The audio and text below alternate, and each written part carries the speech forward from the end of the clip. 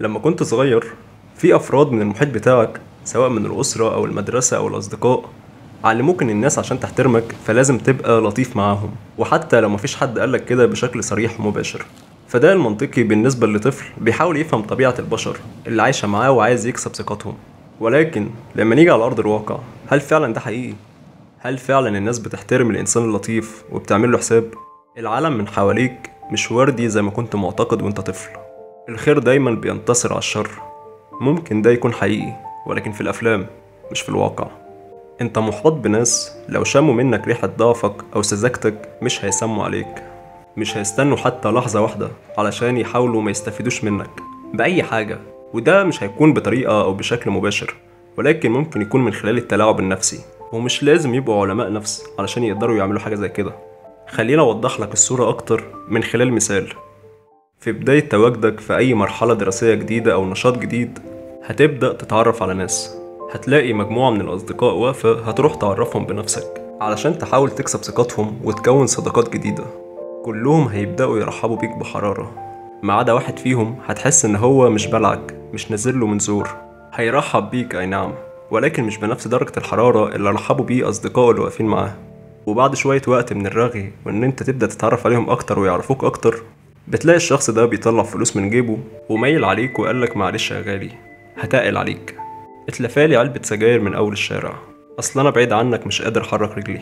وبما إن لسه الهالة الوردية اللي موجودة على عينك لسه ما اتشالتش ومتعلم إنك لما تكون لطيف وخدوم مع الناس وإنك ما تكسفش حد فبتوافق بحسن النية. بتحس ساعتها إن كلمة لأ تقيلة على لسانك. وإن الموضوع عادي يعني أنت يا دوبك هتتلافى علبة سجاير من الكشك اللي على أول الشارع. ساعتها بتوافق. وبتروح تجيب له علبة السجاير.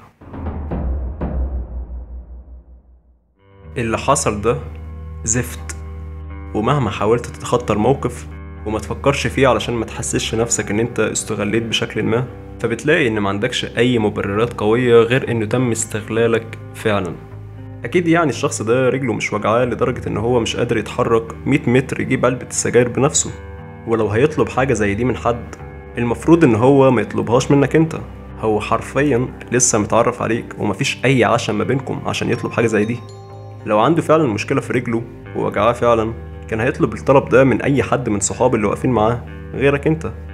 ولكن اللي حصل إن هو لاحظ من طريقتك اللي أنت اتعاملت بيها معاهم إنك شخص لطيف وعندك من الخجل اللي يمنعك إنك ترفض طلب لحد وإنه يقدر يستغلك في أي مصلحة حتى لو المصلحة دي صغيرة يدوبك على قد إنك تتلفيله علبة سجاير.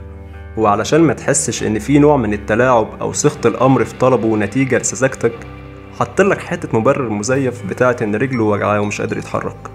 واللي حصل إنك وقعت في الفخ وابتلعت الطعم ومش بعيد كمان يكون اتريق عليك بينه وبين صحابه لما رحت تجيب له علبة السجاير. أو خليني أديك مثال تاني أقرب. عندك واحد صاحبك استلف منك فلوس وقالك إن هو هيرد لك الفلوس دي كمان كام يوم كده أو أسبوع بالكتير.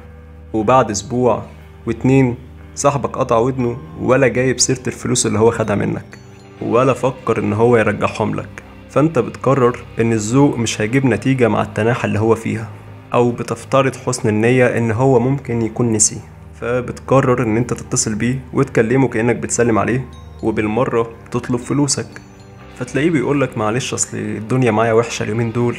اديني بس كده كام يوم وأنا هجيب لك الفلوس لحد عندك. ما تقلقش أنا فاكرهم. فانت بتقول تمام ماشي. فبتستنى يوم اتنين أسبوع وصاحبك ده عايش في مية المخلل وسايق العبط عليك.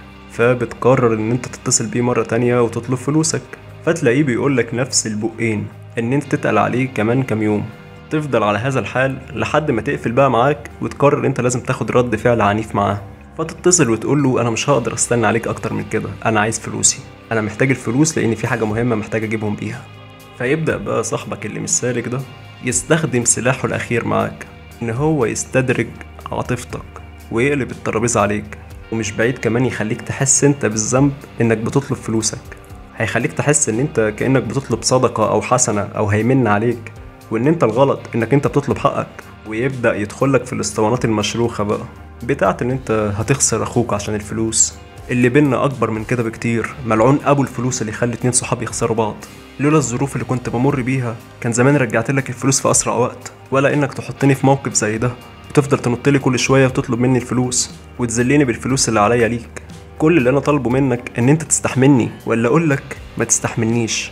هو الواحد كده بيعرف معادن الناس في وقت الشدة. عدى عليا بالليل اكون اتصرفت وبعت حتى تليفوني واديت لك فلوسك. سلام. بينتهي الموضوع بإنك ولا أنت هتروح له بالليل ولا هو هيبيع تليفونه.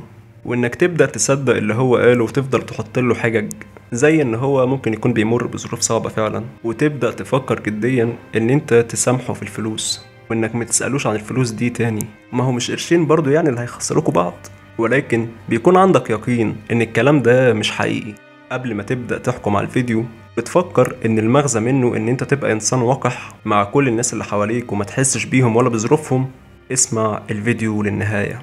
افهم كلامي كويس. ولازم تفهم كمان إن أنا آخر حاجة ممكن أكون عايزها إنك تكون إنسان وقح وقليل الذوق. من سمات الراجل فعلا إنك تكون ذوق ومحترم مع كل الناس اللي بتحترمك وحط لي خط هنا تحت كلمة اللي بتحترمك.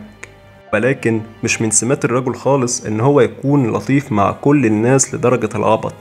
مستوعب أنا قصدي إيه؟ يعني مع دايرتك القريبة سواء أهل أو حبيبة أو أصدقاء مقربين اللي أنت عارفهم كويس في حياتك دول لازم تبقى معاهم لطيف وده الطبيعي. والغريب واللي ممكن ساعتها يعاتبك عليه إن أنت ما تبقاش لطيف مع الناس دول.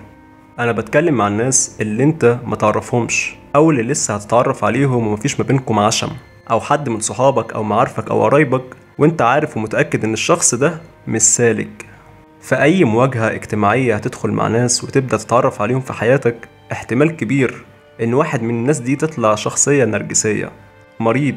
يحب يقلل من كل اللي حواليه علشان يبدأ يحس بقيمته إن هو أحسن منهم. ولكن الطبيعي إن هو مش هيقدر يعمل كده معاك من أول مرة بحكم إنك لسه جديد في حياته وما يعرفش شخصيتك. فيبدأ يختبر مدى حصانة شخصيتك ويبدأ يتكلم معاك بأسلوب مش ألطف حاجة أو يقول بعض الكلمات كده في وسط الجمل علشان ينكشك بيهم.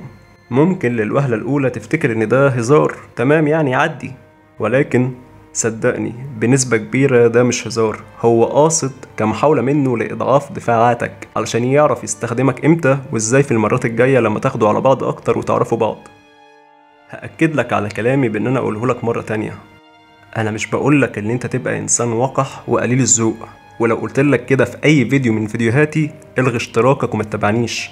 لازم دايما كراجل إن أنت تبقى جنتلمان مع أي بني آدم كويس وبيحترمك. وفي نصيحة تانية مهمة برضو.